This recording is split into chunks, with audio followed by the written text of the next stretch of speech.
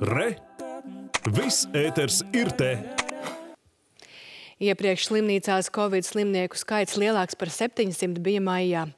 Vīrusam uzliesmojot, veselības ministrija vērsusies pie mazajām slimnīcām, lai tās atvēl nodaļas Covid-19 pacientu ārstēšanai. Šonadēļ tās atvērtas Balvos, Ludzā, Tukumā un Limbažos. Ārsti izsakās skarbi. Epidemioloģiskā situācija valstī attīstās sprādzienveidīgi un atvēlētās gultas vietas jau aizpildītas.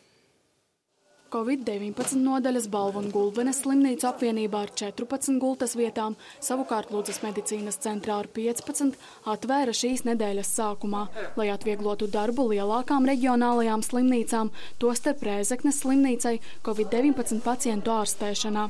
Kā Balvos, tā Ludzā atvēlētās gultas vietas tika aizpildītas jau pirmajās divās dienās. Ludzas medicīnas centrā gultas vietu kapacitāte varētu būt arī lielāka, taču būtiskākais šķērslis to nodrošināt nodrošināšanā ir mediķu trūkums. Ziemas pavasara periodā bija viss 30, šobrīd ir diezgan asas kadru trūkuma problēmas, tieši augstākā personāla, tieši ārstu trūkuma. Tā kā to risinām, ceram, ceram uz rezidentu atbalstu, kas mums bija ziemā. Ja to atrisināsim, būs vēl 15 klāt, un es domāju, ka visas 30 nedēļas laikā būtu arī pilnas pieprasījums ļoti liels. Galvenokārt abās ārstniecības iestādēs nonākušo Covid-19 pacientu vecums pārsniedz 60 gadu slieksni. Viņu slimības gaita vērtējama kā vidēji smaga. Šie cilvēki pārsvarā ir ar jau kroniskām slimībām, jau arī, arī šis paveids, ka iepriekšējais sācina šīs kroniskās slimības. Ir krūtniece, jauna sieviete. Viņai ir nepieciešams stacionārs, tāpēc viņa ir šeit, viņa neatrodas mājās. Jā, viņa ir uzraudzībā, ginekologu uzraudzībā. Pašreiz nec Balvu un Gulbenes slimnīcu apvienībā, nec Ludzas medicīnas centrā dienas stacionāra, kā arī plānveida veselības aprūpes pakalpojumu sniegšana nav pārtraukta. Ierobežota ir vien terapijas nodaļas darbība Balvos līdz ar ārsta terapeita dežūru nodrošināšanu Covid-19 nodaļā. Mums nācās samazināt terapijas nodaļas gultas.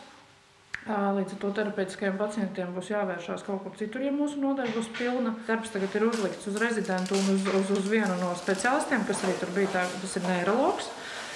Un papildus slodze, protams, ir arī dežūrterapeitiem. Šobrīd mēs mēģinam un nu, cik ilgi būs iespējams, to arī darīsim.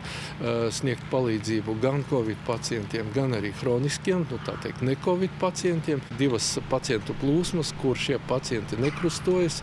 Turpinām arī sniegt palīdzību dienas stacionārā, tātad veikt operācijas, lielāks izmeklējums. Nu, līdz kā saka, ka redzēs, kā tālāk attīstīsies.